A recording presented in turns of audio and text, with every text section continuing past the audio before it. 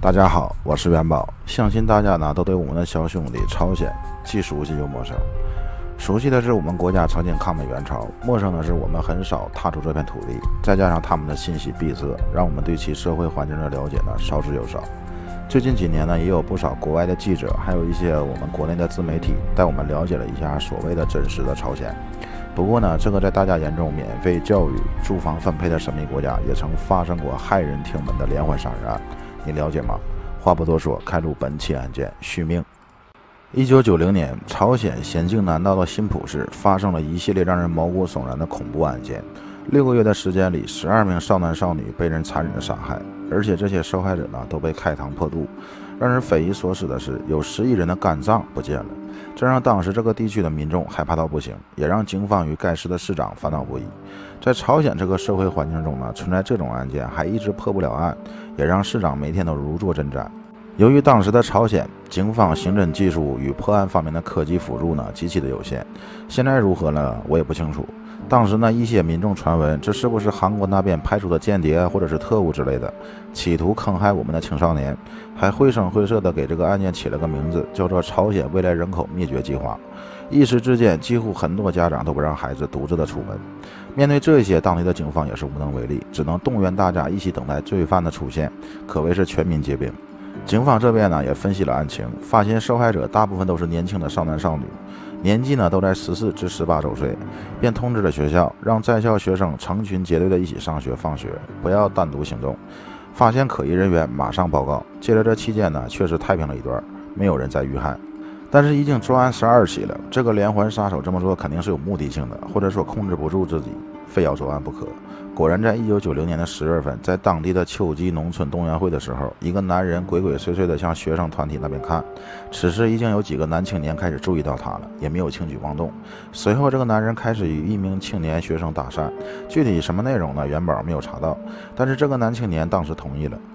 而刚才我们提到那几个男青年则悄悄地跟在身后。当走到一个小巷子的时候，那个男生突然发出了求救声，跟踪的男青年们一拥而上，将这个男人打翻在地。经过一顿暴打之后呢，这个男人承认了自己就是前不久杀人驱赶的凶手。接着他被送给了警方。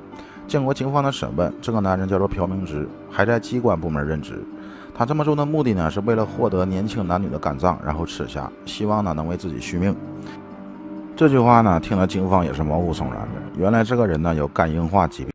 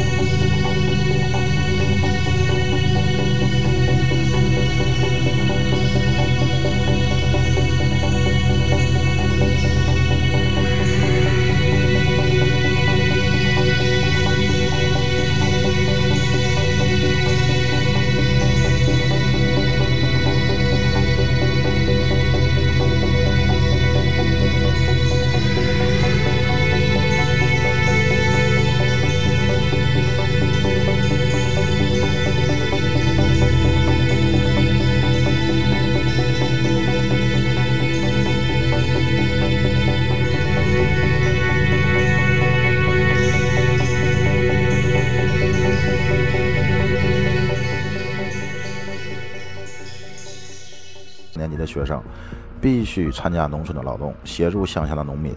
朴明植刚好和当地的干部有交情，这个干部呢让他管理了这里参与农村劳动的学生们，他借此机会掌握了学生们的活动路径。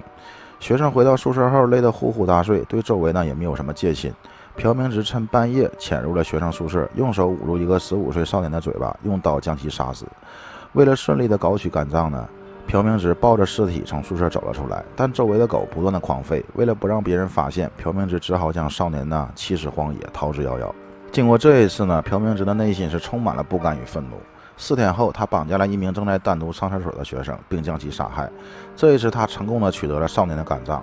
拿出肝脏呢，他来到一个没人的地方，他也是非常的害怕，真的要吃吗？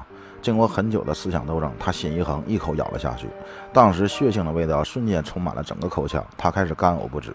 不过法师的话一直在他的脑海里回荡，他坚持的把这个肝脏吃了下去。不知道是不是心理反应，这之后呢，他觉得自己的身体状况好了很多，有精神了，还有力量了。俗话说得好，有一就有二。这一次治病的行为呢，让朴明植坚信了吃肝的功效。他想，是不是多吃几个就会对治疗的效果更加的好呢？这时的他已经着魔了。一九九零年的四月份至六月份，为了能够吃活人的肝脏呢，他连续杀害了十名少男以及两名少女。至此，案件告破。这起案件呢，也是朝鲜为数不多被外界所熟知的恐怖杀人案。